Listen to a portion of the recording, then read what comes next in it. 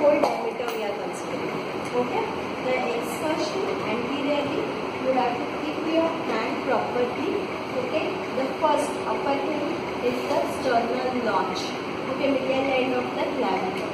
Your thumb should approximate at the sternal notch.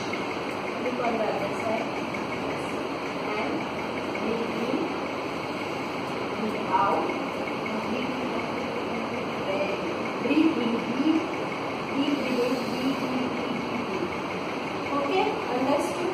So my arm should move from the midline, okay, and they should be equidistance from the midline. Then only your both the expansion, uh, expansion is proper. Okay, then middle, level is same, little level. Okay, out, and hold the breath. And breathe breathe. Breathe, breathe, breathe, breathe. Okay, in this you have to keep your hands no hold. Okay, on the facial chest.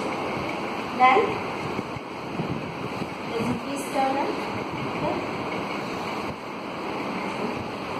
Out, out, out. Deep. Then posteriorly. When you are doing posteriorly, the hand position doesn't matter. Hand can be straight. Then, what is the first apical member? Spine of the scapula. Okay. Just below the, uh, above the spine of the scapula. Okay. The thumb approximate at the spine. Okay. This is the spinous process. Okay. Breathe in breathe and deep breath. Okay?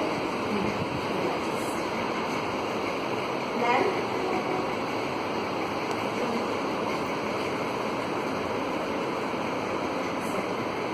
this is spine of the scapula.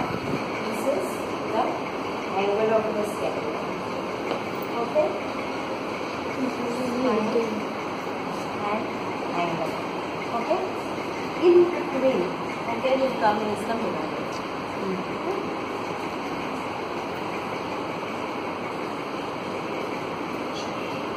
Breathe in, breathe out, and breathe in again. Okay. And the angle of the scapula will come the lower, just below the angle of the scapula. Come on. Breathe out completely. Very. Breathe in now.